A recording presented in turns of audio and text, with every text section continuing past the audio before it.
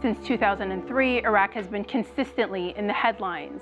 The recent fight between Iraqi forces and ISIL, as well as their inclusion and then their removal from President Donald Trump's travel ban, has pushed the war-torn country back into the spotlight.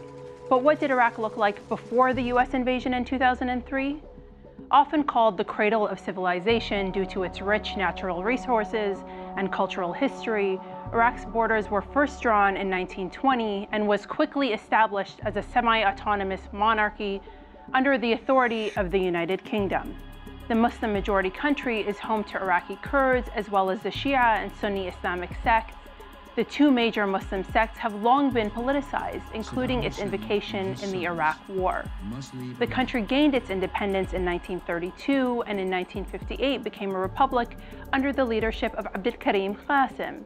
However, that was short-lived as the Ba'ath Party overthrew Qasim and took over Iraq's leadership. The party ruled the country largely under the infamous Ba'athist Saddam Hussein until his toppling by US-led forces in 2003. Unfortunately, even before 2003, conflicts have plagued and defined much of Iraq's history, particularly under the leadership of Saddam Hussein. In 1980, Hussein declared war on Iran, a war that lasted eight years and ended in a stalemate, leaving over a million dead. And there were several other conflicts, unfortunately, in rapid succession.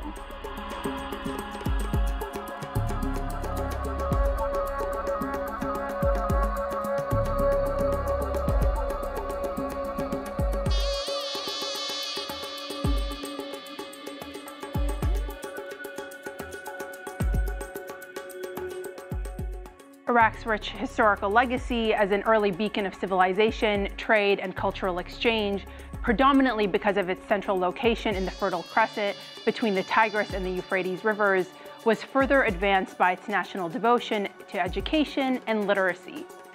However, following years of war, crippling sanctions, and terror attacks, the country is working to regain its place as a regional heavyweight and a global actor.